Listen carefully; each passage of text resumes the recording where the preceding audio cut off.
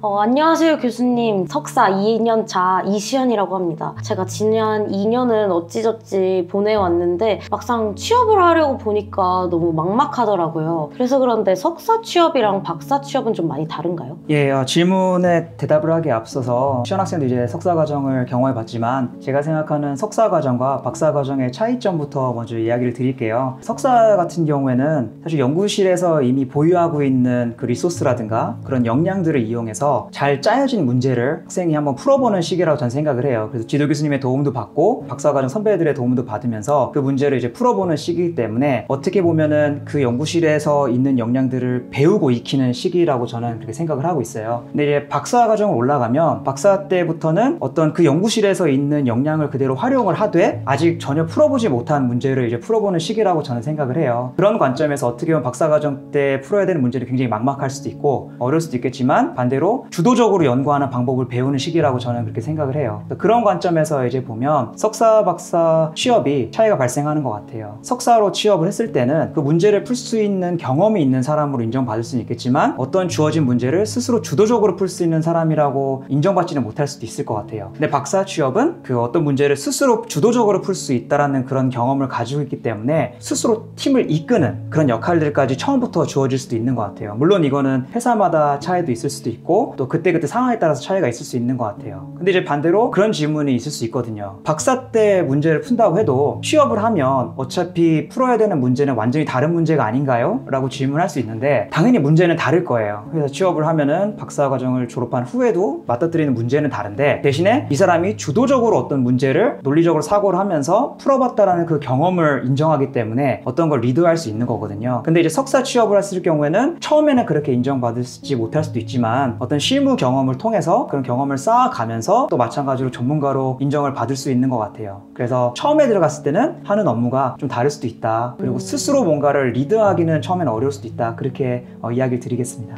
그럼 석사 때는 비교적 제한된 리소스로 연구를 해왔던 건데 그럼 이때 했던 연구들도 실제로 취업에 영향이 있을까요? 아, 예, 그럼요. 어, 석사 때 연구실에서 어떤 문제를 도움을 받아가면서 이제 또 새로운 경험을 익히면서 풀어본 경험이 있잖아요. 그러니까 말하자면 그 경험 자체가 본인의 스펙이 된다라고 생각하면 될 것 같아요. 그래서 취업을 한다고 했을 때에도 예를 들어 학부 때 학부 졸업을 하고 취업을 할 때는 본인이 원하는 분야를 선정하기 힘들 수도 있어요. 왜냐하면 본인이 이쪽 분야에 경험이 없다라고 판단을 할 수도 있기 때문에 근데 이제 석사를 하고 나면 적어도 본인이 세부 전공이 이제 나뉘기 시작하는 거죠. 저희 같은 경우에는 기계공학에서도 고치역학을 했다. 그러면 재료의 기계적 거동이라든가 이런 쪽을 뽑는 그런 자리에 지원할 수 있는 자격이 생기는 거죠. 근데 아까 이야기 드린 것처럼 가서 처음 했을 때는 스스로 주도적으로 할 수 있는 능력을 인정을 받지는 못할 수도 있지만 그 실무 경험을 통해서 그걸 메꿔 갈 수 있기 때문에 석사를 했던 것도 분명히 취업에는 큰 도움이 된다고 저는 생각을 합니다. 아, 그러면 혹시 박사 취업 을 한다고 생각을 했을 때 그럼 교수님께서 생각하시기에 연구 주제보다 그 주도성 자체가 더 중요하다고 생각하시는 건가요? 그 취업 관점에서 보면 그럴 수 있을 것 같아요. 물론 큰 틀에서 어떤 주제가 정해져 있으면 예를 들어 저희 연구실 기준으로 얘기를 하면 저희는 재료의 기계적 거동과 신뢰성을 연구를 하고 있는데 기계적 거동을 다루는 부서에서 삼성전자든 현대자동차든 이런 데서도 재료의 기계적 거동을 취급하는 부서가 있고 그게 굉장히 중요한 이슈인 부서가 있다면 그런 곳에서는 저희 연구실 출신들을 recruit를 하고 싶겠죠. 그런 면에서는 당연히 박사 때 했던 주제가 또 어떤 연구실 소속이냐가 굉장히 중요하긴 합니다. 네, 하긴 한데 근데 그것보다도 정말 우리 연구실에서 어떤 세부 연구를 어떤 걸 해서 뭐에 대해서 굉장히 잘한다라는 걸 보기보다는 어떤 면에서는 이 사람이 스스로 생각할 수 있는 이 분야 세부 전공 안에서 스스로 생각할 수 있는 역량을 갖췄다라는 거를 중요시 여긴다고 저는 생각을 합니다. 제가 사실 석사 학점이 좀 많이 안 좋은데 그러면 박사를 하고 가는 게 유리할까요? 석사 때 학점이 안 좋으면 어, 물론 이제 조금 어려움이 있을 수는 있어요. 근데 제가 지금까지 봐왔던 케이스를 보면 뭐 제가 학생 때부터 지금까지 학생들을 봐오면서 느꼈던 거는 석사 취업에서 학점 때문에 취업이 되고 안 되고가 결정되는 경우는 많이 못 본 것 같아요. 학점 자체가 그리 중요한 건 아니라고 저는 생각은 하는데 근데 물론 학점이 많이 안 좋으면 회사에서도 왜 학점이 안 좋은가에 대해서 의심하는 마음을 좀 가질 수는 있겠죠. 그런 측면에서는 박사를 하고 지원하면 분명히 유리한 점은 있을 것 같습니다.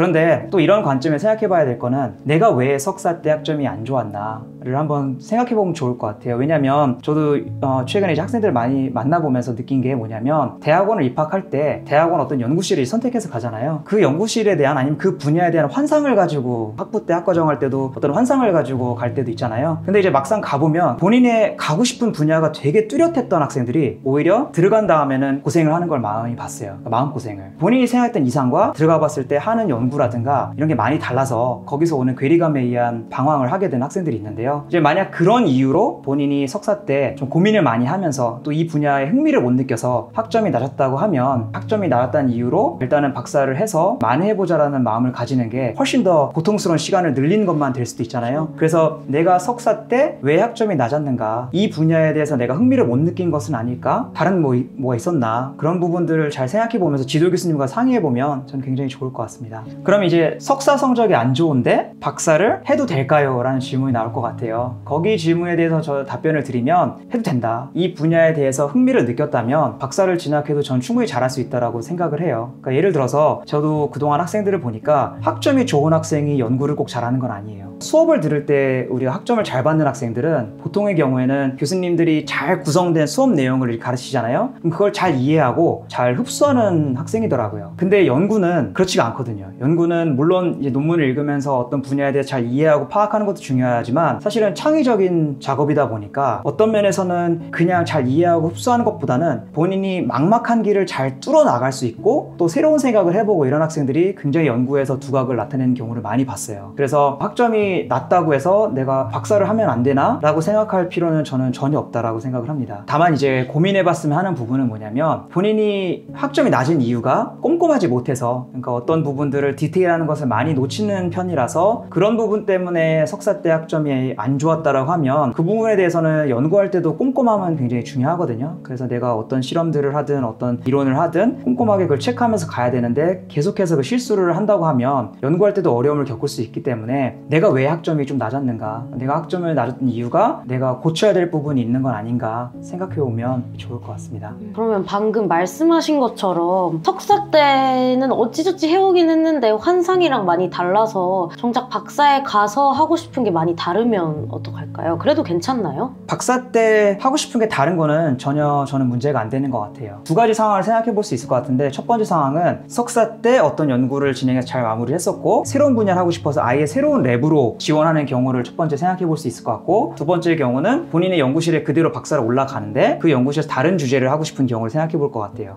첫 번째 경우부터 얘기를 하면 다른 연구실을 찾아서 새로운 걸 하고 싶어서 그 연구실을 갔기 때문에 그 연구실에 그 연구를 수행할 수 있는 그 모든 역량과 리소스들이 있다라는 얘기일 것 같아요. 그런 관점에서 보면 거기 가가지고 새로운 걸 배우는 건 아무 문제가 없겠죠. 물론 첫 1년, 2년 정도는 새로운 분야에 적응하느라 시간도 걸리고 고생을 할 수는 있어요. 근데 이제 본인이 그 분야에 대한 뜻이 있어서 갔기 때문에 저는 그건 충분히 이겨낼 수 있을 것 같고요. 그런 측면에서는 오히려 용기 있는 도전이라고 그렇게 얘기를 해주고 싶어요. 두 번째 경우에 본인 연구실에서 그대로 박사를 진학하기로 했는데 연구 분야가 크게 틀어져가서 많이 바뀌었다. 그런 경우 에는 저는 지도 교수님이랑 상의를 해보라고 얘기를 하고 싶은데 그 이유가 뭐냐면 모든 교수님들이 도전적인 연구를 시도해 보려고 하는 학생에 대해서는 굉장히 이제 어, 뿌듯하게 생각을 하고 인크레이지를 해주고 싶을 거예요. 근데 현실적인 문제가 들어가겠죠. 뭐냐면 우리 연구실에서 이런 새로운 거를 도전할 수 있는 시험 장비나 뭐 소프트웨어든 이런 것들이 있냐. 그래서 학생 한 명이 그쪽 방향을 한다고 했을 때 연구실 차원에서 그거를 충분히 support를 해줄 수 있는 수준에 있는 것인지 이거는 우리랑 너무 다르고 뭔가를 이쪽으로 진출을 하고 싶어도 진입 장벽이 굉장히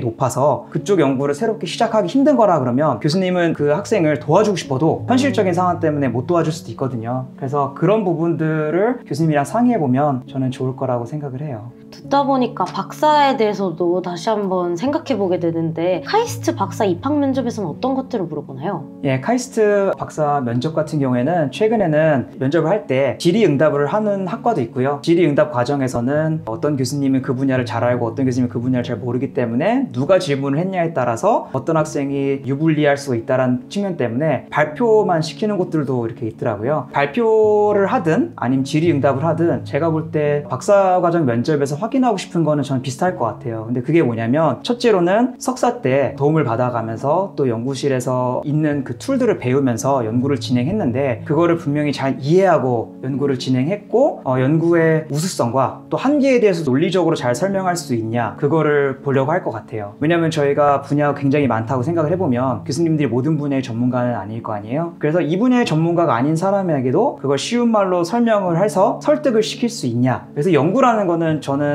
어떻게 보면 가장 중요한 거는 다른 사람을 설득하는 과정이라 생각을 해요. 그래서 우리가 어떤 tool을 이용해서 이론적인 tool을 쓰냐 아니면 실험 장비를 쓰냐 접근하는 방법이 다를 뿐이지 결국에는 다른 사람을 설득하는 작업인데 이 연구의 중요성과 내가 이런 부분들이 해결했다라는 거를 심사위원들한테 잘 설득할 수 있냐 그 부분을 저는 면접 과정에서 본다고 생각을 해요. 그리고 그 이후에는 왜 박사를 입학하려고 하냐 그래서 박사를 입학하려고 하는 이 학생의 뜻이 분명하고 올라가서도 어떤 거를 하고 싶다라는 마음가짐이 잘 돼 있냐를 볼 것 같아요. 그래서 그런 부분들을 잘 준비해서 면접을 들어가면 충분히 잘 대답을 할 수 있지 않을까 생각을 합니다. 박사를 진학하게 되면 실제로는 어, 박사 주제가 결정이 안 돼 있잖아요. 근데 이제 면접 때 보면 박사 때 뭘 하고 싶냐라고 물어보면 굉장히 거기에서 막막할 수가 있어요. 내가 아직 주제가 결정돼 있지도 않은데 그 질문을 할 때는 사실은 정말 어떤 주제가 결정돼 있다라고 가정하고 하는 질문은 아니고 본인이 이제 진학하고 싶어하는 그 연구실에서 진행하고 있는 연구들이라든가 본인이 수행할 수 있는 현실적으로 수행할 수 있는 연구 주제들을 한번 알아봤냐 또 거기에 대해서 고민해봤냐를 확인하는 작업이라 생각하면 될 것 같아요. 본인이 진학하고 싶은 연구실에 대해서도 미리 알아도 보고 여기 가면 내가 어떤 연구를 해볼 수 있을까 리스트업도 해본 다음에 실제로 그 연구실에 입학한 다음에도 어떤 주제를 내가 고민을 많이 해봤습니다 라고 교수님이랑 얘기를 해보면 그 교수님 입장에서는 굉장히 아, 이 학생이 정말 진지한 마음으로 우리 랩에 와서 이런 연구를 하고 싶구나 라고 생각하기 때문에 첫인상을 굉장히 좋게 시작할 수 있거든요. 그래서 그런 면에서도 장점이 있을 것 같습니다. 실질적으로 석사 때 참여했던 연구 주제 quality는 그렇게는 중요하지 않은 건가요? quality도 사실은 굉장히 중요한 것 같아요. 근데 본인 연구가 이 정도로 quality가 높다라고 하더라도 타 분야 교수님들이 봤을 때는 그게 확실하게 와닿지는 않을 수 있거든요. 음. 아까 얘기했던 것처럼 설득의 과정인 것 같아요. 내 연구가 중요하다라는 걸 잘 설득하는 게 중요하고 본인의 우수성을 본인이 알아야 되겠죠. 근데 반대로 본인이 한 거에 대한 거를 더 크게 얘기할 수도 있어요. 그것도 사실은 좀 조심을 해야 되는 부분은 교수님들이 그래도 연구를 굉장히 오랫동안 진행해 보셨던 분들이기 때문에 이 학생이 좀 과장한다 싶으면 빠르게 캐치를 하시거든요. 그래서 본인이 했던 연구를 있는 그대로 설명을 하되 거기에 대한 우수성과 또 한계 이런 것도 잘 설명하면 본인 연구의 우수성들을 잘 어필할 수 있을 것이라 그렇게 생각합니다. 마지막으로 내가 또 한 가지 강조하고 싶은 부분이 있다고 하면 지금의 학생들에게 박사과정을 통해서 deep thinking 하는 능력을 키우라고 꼭 얘기를 해주고 싶습니다. 깊게 생각하는, 고찰하는. 사실은 너무 바쁘잖아요. 우리가 너무 바쁘기 때문에 깊게 생각하지 못할 때가 많은 것 같아요. 사회가 굉장히 경쟁적이기 때문에 연구 결과를 많이 내려고 하고 실적을 정말 많이 내는데 아이디어를 많이 쓰지만 반대로 이 문제를 정말 고찰할 수 있는 여- 마음의 여유가 없을 때가 있다고 전 최근에 많이 느끼고 있어요. 이 연구가 과연 내가 정말 제대로 이해했다고 할 수 있을까라는 고민이 들 때가 이렇게 있습니다. 사실은 사회적인 분위기도 바뀌어야 되겠지만 내 학생들이 박사 때 그런 부분에 대해서도 계속 고민을 해보면서 내가 어떠한 거에 대해서 깊게 생각하는 그 능력을 키우고 싶다라는 생각을 가지면 전 굉장히 좋을 것 같아요. 최근에는 AI가 문제를 굉장히 빨리 풀어주기도 하는데 우리가 절대 AI보다 빠르게 갈 수는 없을 것 같거든요. 그렇다고 하면 미래에는 어떻게 보면 깊게 생각하는 사람이 더 인정을 받을 거라고 저는 생각을 해요. 카이스트에서 박사학위를 받고 사회에 나가는 사람들은 그게 본인의 굉장히 큰 강점이 될 수 있지 않을까 저는 생각을 합니다. 방향을 결정할 줄 알고 남들이 생각하지 못했던 방향으로 다각도로 생각도 해보고 해보 지 못했던 해석도 해보고 다양한 관점에서 바라보는 그런 훈련을 박사과정 때 하면 굉장히 좋을 것이라고 생각이 됩니다. 시간 내주셔서 너무 감사합니다. 저도 제가 갈 길이랑 왜에 대해서 정말 많이 생각해 보도록 하겠습니다. 예. 감사합니다. 예, 감사합니다.